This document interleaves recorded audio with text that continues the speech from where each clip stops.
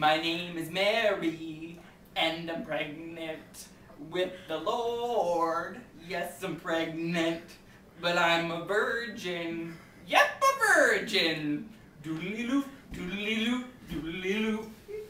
Not a virgin because I fucked you. You're not a virgin. I fucked you, fucked you.